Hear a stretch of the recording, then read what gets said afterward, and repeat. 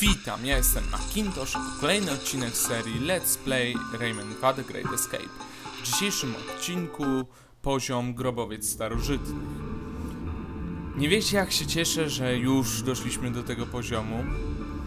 I tak jak już widziałem w waszych komentarzach, już zespoilerowaliście to, że w grobowcu starożytnych można znaleźć tysięcznego lumka który niestety nie wyświetla się potem nigdzie. To jest po prostu taka znajdźka taknych można znaleźć tysięcznego lumka, który niestety nie wyświetla się potem nigdzie. To jest po prostu taka znajdźka, taki wiecie, coś żeby było, ale dzięki temu czemuś yy, grę ukończymy w 101%. I właściwie dlaczego ten żółty lumek jest w grobowcu starożytnych?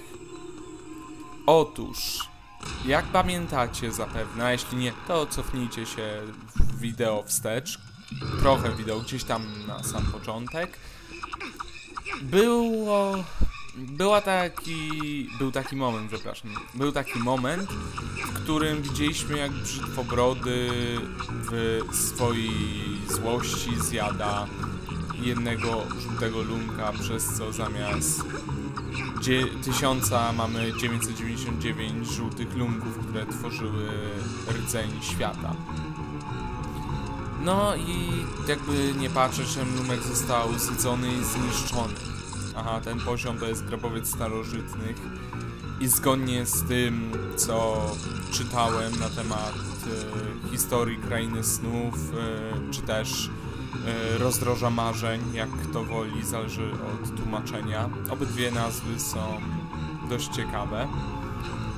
No więc e, Grobowiec Starożytnych to miejsce, do którego odchodzą duchy e, nie tylko pradawnych, ale również e, istot, które czymś zasłużyły się, czyli na przykład jak Rayman umrze, to na pewno gdzieś tutaj go znajdziemy. Niestety pojawił się mały problem z grobowcem, kiedy pojawili się piraci. Otóż e, zło wybrało sobie to miejsce na taką jakby siedzibę. I jak widzicie wcisnąłem jakiś przycisk i nagle jakaś nie wiadomo skąd animacja i beczka wyłoniła się z kwasu.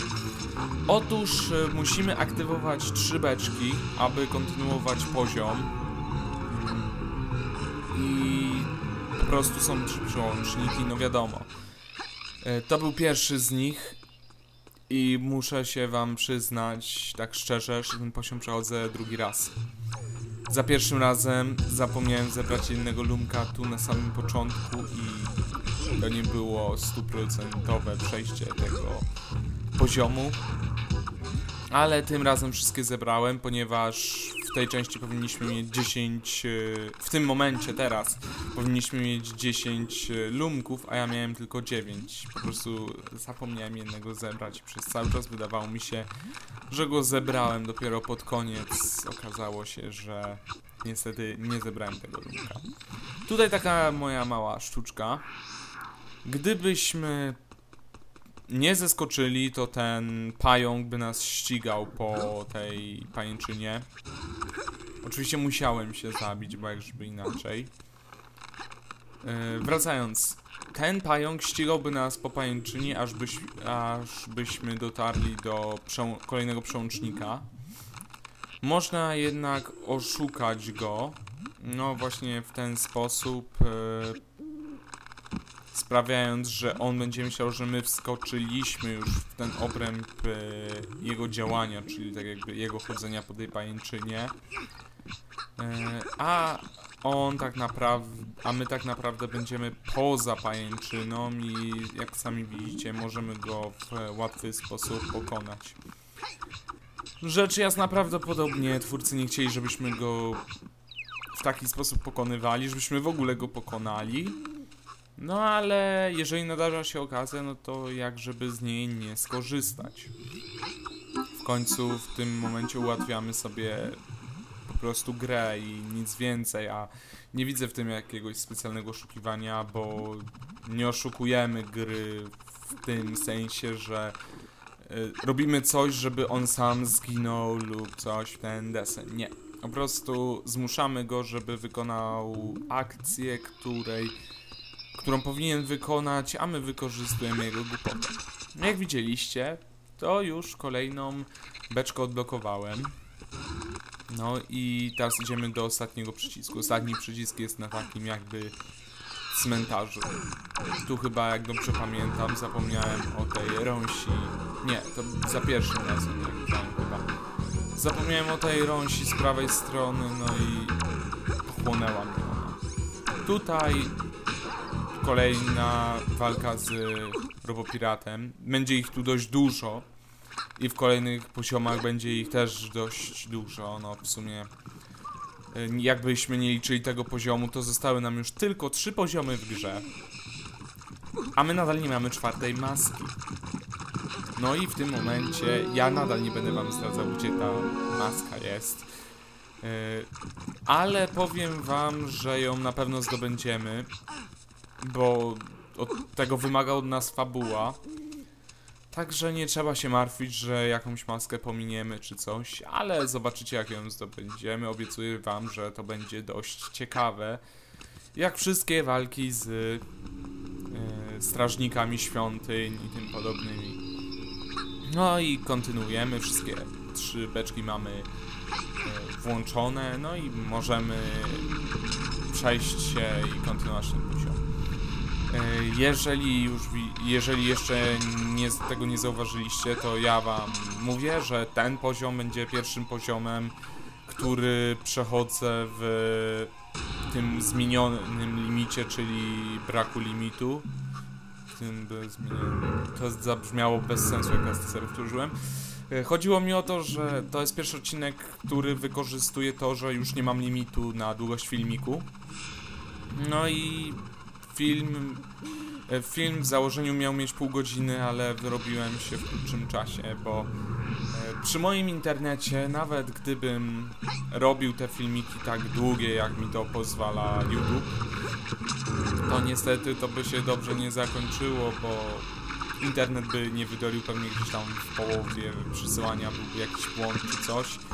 Dlatego nawet pomimo zniesienia limitu zdecydowałem się, że filmiki nie będą przekraczać e, pół godziny, no chyba, że e, będę w czasie jakiejś misji, w czasie przechodzenia jakiegoś poziomu i będę musiał ten poziom nagle urwać w połowie.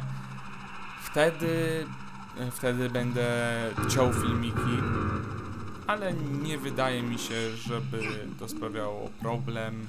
E, tak, już ktoś pytał mnie, na, czy będą kolejne let's playe z serii Rayman, e, czy, Raym, czy z, będę grał w Raymana 3, a ja wam tak ślicznie odpowiem, że wystarczy spojrzeć się na e, mój kanał i na tym kanale i na po lewej stronie kanału jest wypisane kolejne let's playe, kolejne gry z let's playa, kolejne gry z retro playa i inne ważne informacje. Wystarczy dobrze, wystarczyło dobrze poszukać, żeby dowiedzieć się, co będę grał następne. I tak jak widzicie, to jest właśnie to ukryte miejsce. I tutaj jest ten y, słynny tysięczny numek, który tak naprawdę umarł, ale wcześniej nie dokończyłem myśli, pewnie nie wiecie dlaczego tu się znalazł. Otóż, y, jeżeli coś w krainie snów odchodzi w zapomnienie, umiera czy coś w tym stylu, jego dusza trafia tutaj, a żelumki są nieśmiertelnymi, tak jakby częściami energii tego świata. To to ta energia nie może po prostu od tak sobie zniknąć, ani być przekazana do jakiejś innej istoty, po prostu też tutaj trafia, tylko że była bardziej ukryta niż powinna być, ale to jest właśnie jedna z tych znajdziek, za którą lubię yy, Raymana. No oczywiście w grze jako tako nie ma tak, tak naprawdę innych takich super ukrytych znajdziek, ale to jest akurat taka znajdźka, którą odkryłem, można by powiedzieć, y, przypadkowo, bo chciałem sprawdzić, czy czegoś tam nie ma, bo było jednak wgłębienie w ścianie. I myślałem, że zginę, ponieważ y, długi czas nie odwracała mi się kamera, no i tak kiedyś wyszło, że się tam znalazłem i znalazłem tego tysięcznego lumka i to był czysty przypadek, ale byłem z siebie diablo zadowolony. A teraz wracając, jesteśmy już w, wewnątrz grobowca. Tak, wskoczyliśmy do jakiegoś grobu otwartego jesteśmy nagle w środku grobowca. E, Nie zbliżajcie się do tej wody, dobrze wam radzę. Jeżeli się przyjrzycie, to tam widać jakieś kości, jakieś martwe ryby, znaczy się to, co zostało już z ryb. I, i, i, powiem wam, że oni nie chcą nas wypuścić z powrotem, bo zamykają się za nami bramy, pełno tutaj jakichś pajęczyn. Ale spokojnie przeżyjemy, przeżyjemy, przeżyjemy. Mam taką nadzieję, że my to przeżyjemy. Dobra, e, teraz są dwie drogi do wyboru.